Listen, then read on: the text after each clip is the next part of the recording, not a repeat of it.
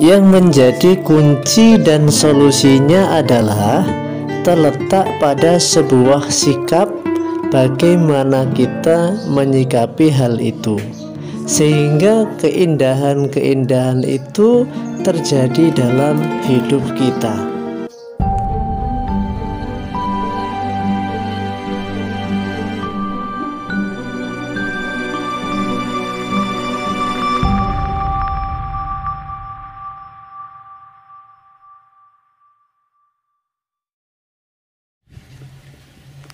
Assalamualaikum warahmatullahi wabarakatuh teman-temanku semua.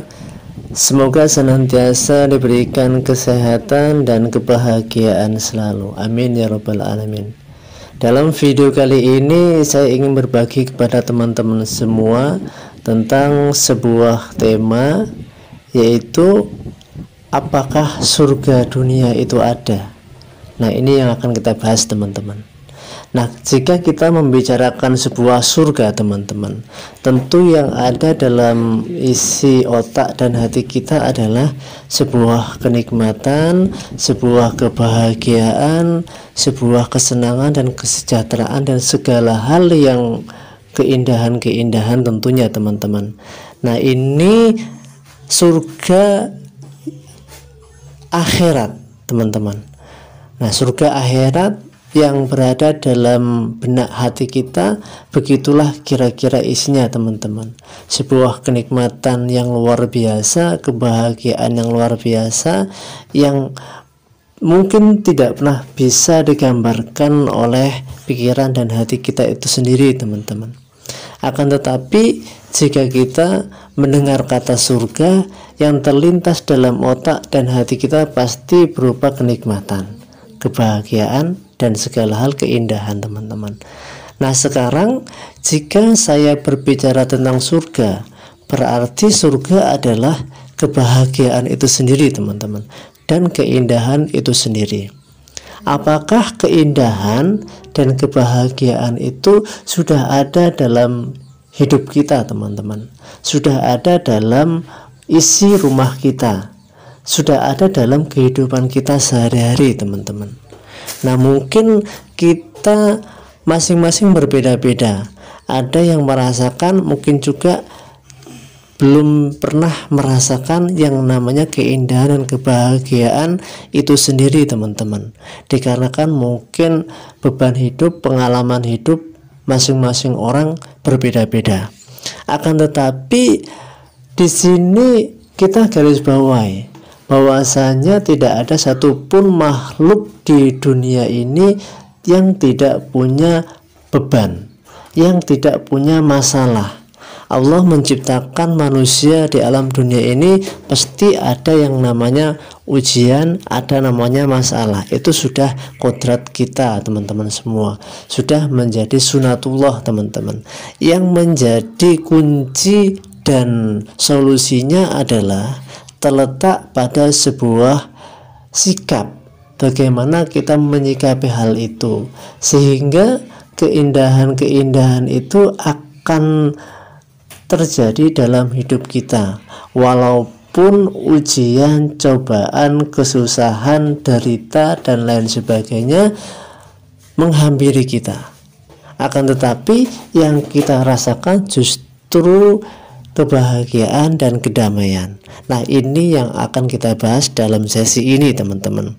Nah, apa kuncinya?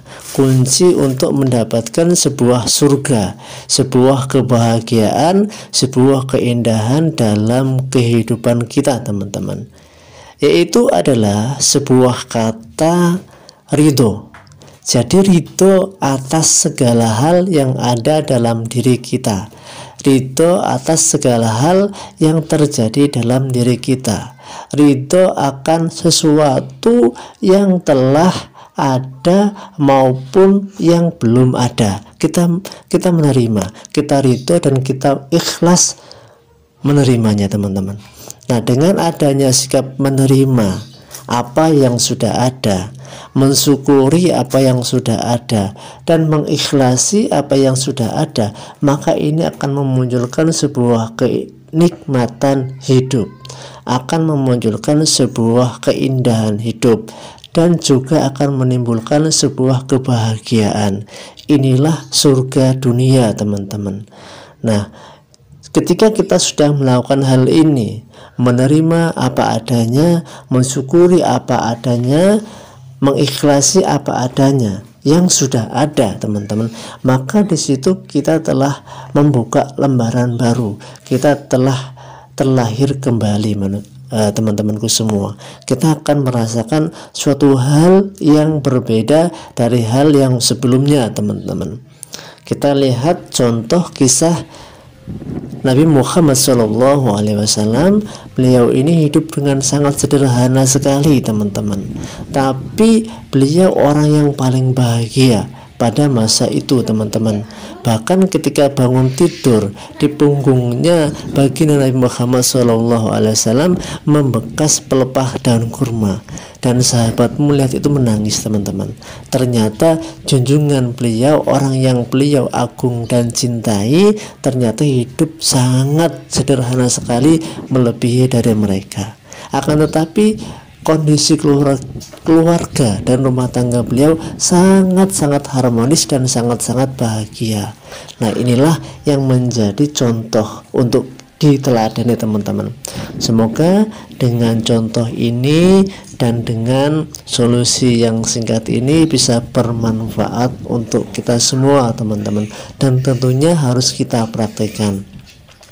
Semoga video ini bisa bermanfaat untuk kita semua amin ya rabbal alamin assalamualaikum warahmatullahi wabarakatuh